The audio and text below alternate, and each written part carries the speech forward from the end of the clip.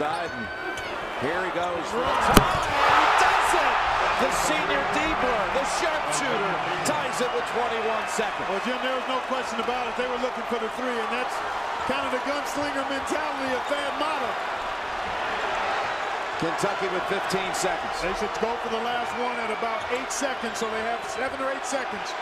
It's in Knight's hand. He beat Princeton at the gun. Here he shoots. Yes! With five seconds. Oh, Ohio State racing up the floor. The season on the line. Buford for the win. No!